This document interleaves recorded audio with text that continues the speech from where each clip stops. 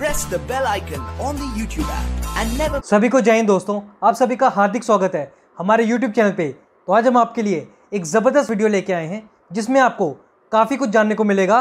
तो इस वीडियो को अंत तक देखें और चैनल पे नए हैं तो चैनल को सब्सक्राइब कर दें और बेल का बटन ज़रूर प्रेस कर दें, ताकि हम आपके लिए ऐसी इंटरेस्टिंग और इन्फॉर्मेटिव वीडियोस लाते रहें। साथ मिलकर ये वीडियो देखते हैं।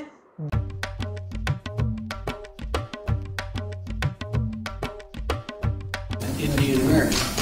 जब मैंने माननीय प्रधानमंत्री जी को उनकी कुर्सी दिखाई तो मैंने कहा था कि हर रोज इस कुर्सी पर हमारी उप राष्ट्रपति बैठती हैं जो कि भारतीय मूल की है vice presidents and uh, marry an Indian woman. And I've never been able to track it down. So the whole purpose of this meeting is to help me figure out.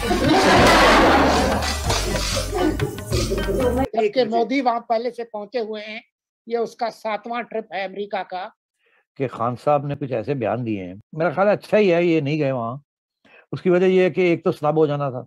तो ये हालात है वहाँ तो खान साहब बेचारे जाके क्या करते? वो शाह महमूद कुरैशी की मुलाकात क्यों नाकाम हो गई? ना, नाकाम हो गई है। बहुत बुरी तरह बहुत सर्द मेरी से वो पेश आया। वो तो कह रहे कुछ अलग भी वक्त दिया उन्होंने ना, ना, ना, कुछ नहीं सर्द मेरी से पेश आया। पक्की खबर है। मगर मैं समझता हूँ this is very important visit मुल्क मुश्किल हालों में है। बाहर भी दुश्मन पाकिस्तान के खिलाफ साजिशों में मसरूफ है। मोदी वहाँ पहले से पहुँचे हुए हैं।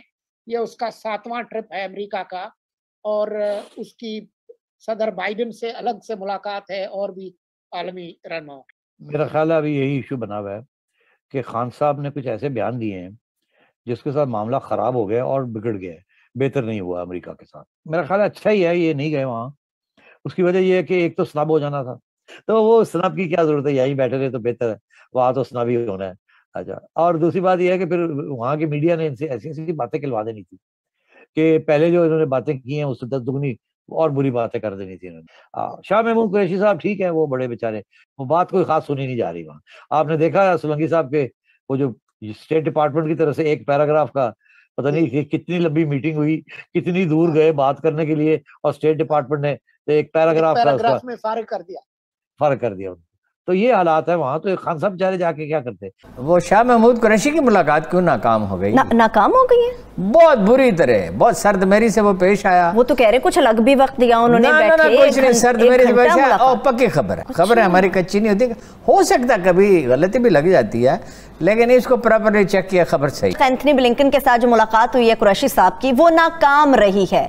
तासुर तो ऐसा दिया जा रहा है बड़ी अच्छी मुलाकात रही खुशगवार थी एक घंटा वो बैठे कुछ अलग अलहदगी में उन्होंने बातें की अफ़गानिस्तान का मसला भी उठा ये सारी चीज़ें जो चाट भी खिलाई थी कुछ और भी फ्रूट चाट भी खिलाई उनको पकौड़े भी खिलाए समोसे चलिए इस नकवी साहब से पूछ लेते हैं ये तमाम लवाजमात थे। देखिए अमरीका जो है वो अफ़गानिस्तान में जिस जिल्लत का उसे सामना करना पड़ा उसका जिम्मेदार पाकिस्तान को समझता है।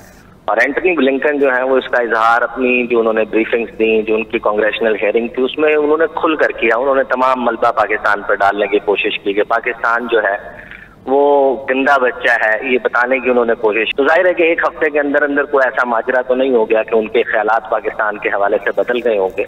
कि पाकिस्तान अमरीका के साथ ऐसे ताल्लुक चाहता है, जैसे आज मॉडर्न डे में अमेरिका और भारत के दरमियान है। तो वो नॉन उसका तो सवाल आप देखें ना उसका तो कतकला माफ़ वो तो सवाल ही नहीं पैदा होता ना। अमरीका इंडिया जो है वो उनका स्ट्रेटेजिक पार्टनर है तस्वीराती हलीफ है। वो तो उसका तो सवाल ये तो मतलब क्या है ये ख्वाब कभी पूरा हो सकता है और क्या ये देखना भी चाहिए? देखिए, हारून साहब, हमारे पाकिस्तानियों के साथ एक झूठ जो त- तवात्र के साथ गुजशत दो दिहाइयों में बोला गया, हमें गवर्नमेंट्स बताती रही, हमें फॉरेन ऑफ़िस कहता रहा कि पाकिस्तान और अमेरिका के दरमियान स्ट्रेटेजिक ताल्लुकात हैं और पाकिस्तान और अमेरिका स्ट्रेटेजिक पार्टनर्स हैं इस रीजन में, जबकि ये एक ऐसा झूठ था जिसके ऊपर बहुत सारे लोग यकीन भी करते रहे। पाकिस्तान और अमेरिका के दरमियान एक ट्रांजैक्शनल रिलेशनशिप था, एक सिक्योरिटी का ताल्लुक था। लॉन्ग टर्म ताल्लुक तो वो उनका साथ साथ उस वक्त भारत के साथ परवान चल रहा था जब उन्होंने सिविल न्यूक्लियर डील की। कि कश्मीर का कोई ज़िक्र करे? जो बाइडन साहब ने नहीं किया ना फलस्तीन का नहीं किया सिंह के आंग की बड़ी तकलीफ़ हुई उन्हें। सिंह के आंग का मुसलमानों से बड़ी जाती हो रही है। चाइना से बड़ी इसलिए कि चीन हाँ अपने अपने अपने जालिम है अपने अपने मजलूम है। और ये कारोबार मुनाफ्कत ही है सियासत में ज़्यादातर सारी दुनिया में ठीक है? वो खुरशेफ ने कहा कि ये अपना ये किया स्टालिन ने ये किया स्टालिन ने। जुल्म तो बड़ा किया तो स्टालिन ने करोड़ों करोड़ों आदमी मार डाले।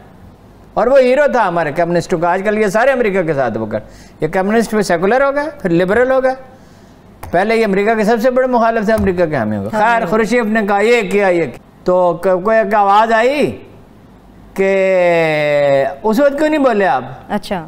खुर्शीफ ने कहा कौन बोला है? खड़ा हो जाए। कोई खड़ा नहीं हुआ। उसने कहा मैं भी इसीलिए चुप रहा था। यही वजह थी। क्वाड इजलास की अहमियत क्या है हारून साहब क्वाड इजलास देखिए ना मैंने आपको ऑलरेडी बता दिया कि जब उन्होंने ऑस्ट्रेलिया से माहिदा कर लिया इंडिया से तो उनका माहिदा पहले ही है बंदरगाह इस्तेमाल करने का। मगर ऑस्ट्रेलिया पे ज़्यादा डिपेंड कर इंडियंस बारगेनिंग ज़्यादा करते हैं। ऑस्ट्रेलिया तो देखिए ना उन्होंने जैसे उन्होंने मारा ना उन्होंने रेड इंडियंस को और उस पर ये गोरी और ये सबसे ज़्यादा मुतसब है। तो ये तो बगल बच्चा है ना न्यूजीलैंड की भी यही हैसियत है। वो लीडर ज़रूर अच्छी है। लेकिन ये कि उसकी भी ये हैसियत है। तो ऑस्ट्रेलिया जब मौजूद है तो भारत की अहमियत बतदरीज कम हो रही है। ये कुदरत का कोई मंसूबा नज़र आता है। लेकिन कहते हैं चाइना के हवाले से तहफात होंगे और चाइना के बारे में बात होगी क्योंकि जो बाइडन भी चाइना के मुखालिफ है इंडिया को भी नहीं वो चीन पर पे तो होगी ना। तो टारगेट अगले 20 साल के लिए टारगेट चीन है।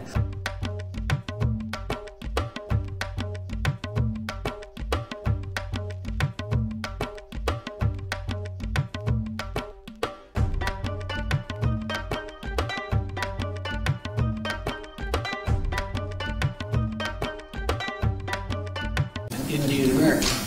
जब मैंने माननीय प्रधानमंत्री जी को उनकी कुर्सी दिखाई तो मैंने कहा था कि हर रोज इस कुर्सी पर हमारी उप प्रधान उप राष्ट्रपति बैठती हैं जो कि भारतीय मूल की है Vice President's mother was uh, from India, a scientist, and uh, a remarkable woman. I understand the humor here, but uh, and the end result was that uh, um, uh, I uh, he apparently uh, stayed uh, and uh, married an Indian woman. And I've never been able to track it down. So the whole purpose of this meeting is for him to help me figure out.